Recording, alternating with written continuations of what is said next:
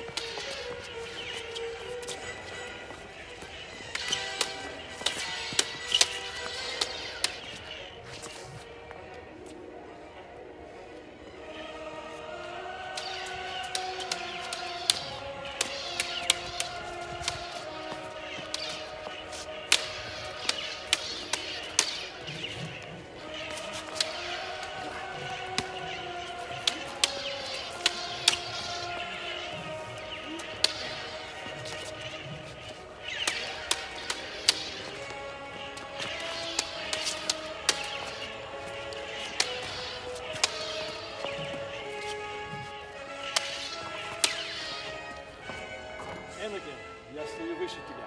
Ты недооцениваешь мою мощь. Конец тебе. Что ж, друзья, спасибо вам за просмотр данного видеоролика.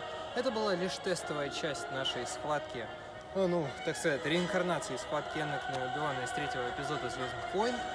Данная версия будет гораздо более улучшенная, где у нас будут и сапоги, и Энакин, да, будет с перчаткой на руке, и парик как бы мы найдем завтра подходящий под Энакина. И эта версия у нас будет снята с дедушкой моим Оби-Ваном, и также летом будет версия с Артемом, с моим другом Альфонсом, ну а также Данте, он известен как Данте. Ну и да, на этом мы заканчиваем. Надеюсь, увидимся с вами в более улучшенной версии данного дуэля. До скорого!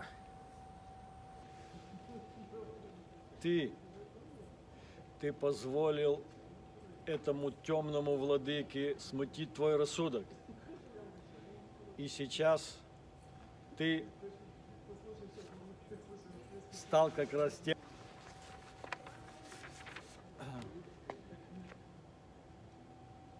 ты